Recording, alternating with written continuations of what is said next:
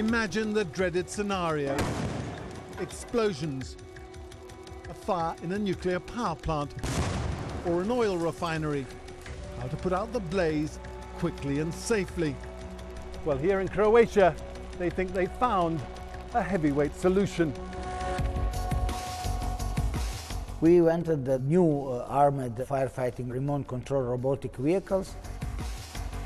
Vjekoslav Majetić is a Croatian engineer with an expertise in transport, making things move by remote control, just like a kid with a battery controlled car, except his machines are for saving lives.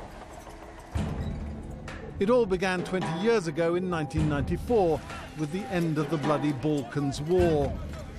Majetić set about helping clear his country of the terrible legacy of landmines. I saw a lot of damage, a lot of wounders, a lot of dead people. For me, it was logical to making some tools to speed up demining and making much safety. A series of models developed by his family company DOK-ING became the market leader. After our machine, nobody, nobody during the using machine was killed. Nobody died. Nobody. One thing led to another, and Majetić's expertise for remote controlled robotics was called on by the Russian government. But they wanted a firefighting machine that could go where no man could. The MVF 5 was born.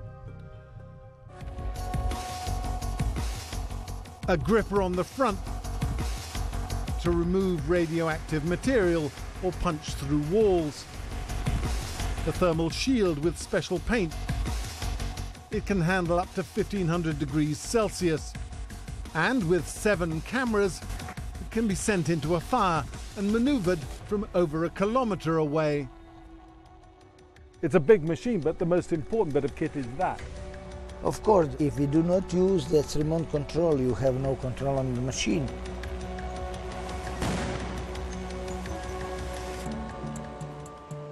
This is where they're built Behind black screens, a production line bends, cuts, and welds sheets of reinforced steel. They now produce three or four of them a month for a growing number of industries. The Russian used uh, that machine to protect the, the, nuclear power plant near the Moscow. We have order for the uh, Serbia, we have order for Macedonia.